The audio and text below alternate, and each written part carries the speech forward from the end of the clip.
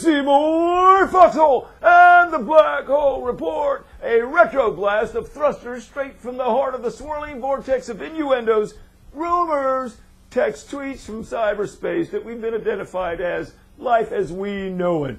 The message this week from up on the hill is shocking. It's revolutionary. It's way out there. The message it's time for them all to come out, out of the shadows, out of the closets, out of their bizarre clothing and strange companions.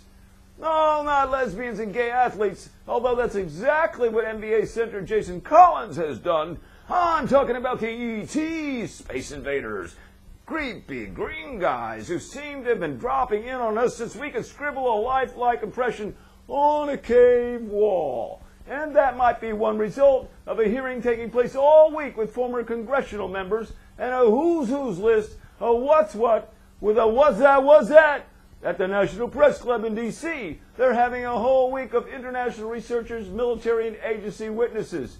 Okay, so it won't solve the debt crisis or get more jobs or even help the Washington Wizards win one more game. But then again, it might if there's inside info Monsanto can patent, right? A former Congressman, Mike Gravel, said, I don't know if it's Little Green Man or Purple Man or if it's any man. All I know is that worldwide there's thousands and thousands of sightings. Some of them may be hallucinatory, uh, but under close examination, they are real sightings. That's something we don't know of. He should know, as he was a former special agent in the Counterintelligence Corps. Now, I know a lot of us get our best intelligence leaning on the counter, watching the outer limits, but apparently the classifieds in the Pentagon are not on Craig's list. So we have to play who do you trust with people who, um, well, we don't trust so much.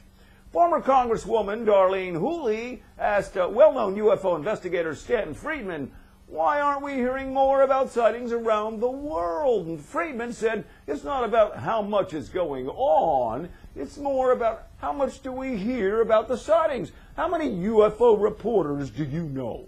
Well, Stanton, that's really stretching it just a little bit seriously. If we had UFO reporters, then how could we have anyone count on us to tell us what Beyonce had for dinner last night? Now get your priorities straight, man. Speaking of going straight, Jason Collins, an NBA center, came straight out of his sexual orientation with much applause from people worldwide. Some even saying he's a hero for doing it. Well, Ben Shapiro, an editor at large for Breitbart.com, uh, they have editors at Breitbart? Well, who knew? Anyway, said this. So Jason Collins is a true hero because he's gay. Our standard for heroism has dropped quite a bit since Normandy.